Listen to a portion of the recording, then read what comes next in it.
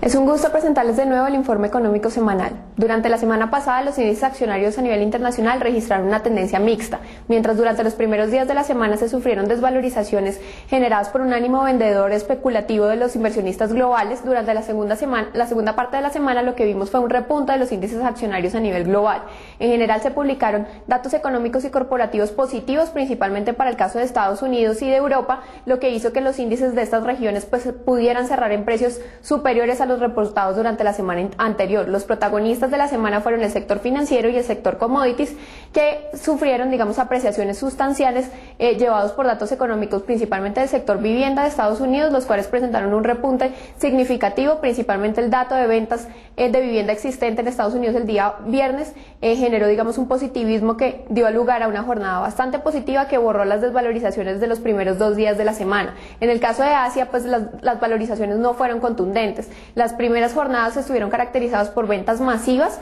de inversionistas de esta región que estaban apuntando a que probablemente el discurso de Bernanke iba a indicar que la recuperación podría estar todavía lejos. Sin embargo, eh, la intervención de este eh, miembro de la Fed lo que dio lugar fue una valorización de los índices, dado que el optimismo que generó fue que la recuperación puede darse bastante pronto, dado que los indicadores económicos más importantes de Estados Unidos ya han tenido un camino de repunte que está sumando más o menos unos cuatro meses lo que puede estar diciendo que la subida de las acciones no es tan solo una burbuja, sino que realmente hay un sustento económico detrás y que en los próximos seis meses esto va a empezar a indicarse principalmente en el en el lado del sector vivienda y en el lado del sector industrial. Datos también de la economía de Europa indicaron que la industria manufacturera de este sector, que venía bastante afectada, incluso a niveles mayores de afectación que el mismo Estados Unidos en meses anteriores, ya también comenzaron a tener un repunte sustancial y los datos de crecimiento económico de Alemania y de Francia para el segundo trimestre del año hicieron también que pues, se, generara un optimismo general para el mercado accionario de estas regiones. Entonces, en resumen, Estados Unidos y Europa cierran positivos,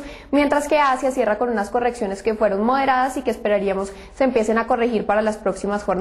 En el caso del mercado local colombiano, incluso cuando se estaban viviendo algo de desvalorizaciones en los mercados globales, a nivel local se mantenía un sesgo alcista bastante fuerte en las acciones, indicando que el apetito por riesgo local continúa bastante fuerte, la liquidez del mercado es bastante alta y las demandas para muchas de las acciones, principalmente del sector financiero, como lo son la preferencial Bancolombia y algunas del sector real como Semargos, pues han sido sustanciales, haciendo que los precios de estas acciones se trepen fácilmente de 200, 300 o 400 pesos en tan solo una jornada y esperaríamos que este apetito por ese riesgo local pues continúe para próximas semanas, ya que no tenemos, digamos, fundamentales negativos que puedan afectar esta tendencia y estamos siguiendo eh, y teniendo un comportamiento muy en línea con los índices accionarios de toda la región. En el caso de la renta fija, pues dado que el mercado accionario se vino recuperando durante la semana, pues el apetito por activos refugios se fue disminuyendo. Las primeras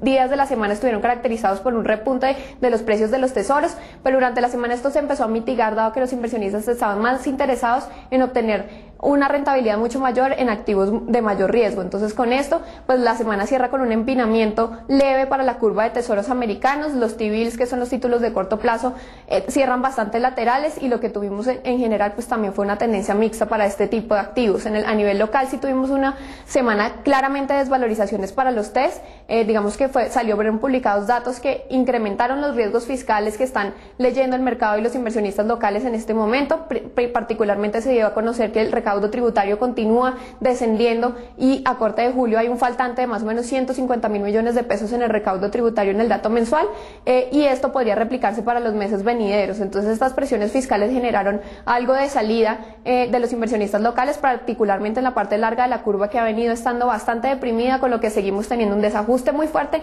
en la curva de rendimientos local y es probable que durante la semana pues se mantenga algo de esta tendencia, dado que solamente estamos esperando la reunión del Banco de la República el próximo viernes pero pues, a, aparte de esto no tenemos, digamos, ningún fundamental de liquidez eh, ni de noticias inflacionarias que nos pueda dar, digamos, un mejor curso para el mercado. En cuanto a los bienes básicos durante la semana, pues ante un mayor apetito de riesgo, sobre todo para los días jueves y viernes, y ante la publicación de los inventarios de petróleo, los cuales decrecieron en muy buena forma, durante la semana tuvimos mayores niveles de precios, sobre todo para los energéticos, petróleo y, sus derivados, así como también para los, los metales. La sensación del mercado es bastante positiva para lo que pueda pasar en los próximos meses en estos mercados. Estamos esperando un poco los datos de eh, vivienda y de precios de vivienda de Estados Unidos durante la semana que nos dirán un poco de cómo va a ser eh, la tendencia para los próximos días. Pero a mediano plazo continúan, el mercado está, continúa estando bastante interesado en estos activos de riesgo y, y eso está también incentivando los movimientos de las monedas que hemos visto a nivel internacional. El, el dólar a nivel internacional continúa debilitándose principalmente con respecto al euro, más aún cuando se publicaron los datos de crecimiento económico de algunos países de la región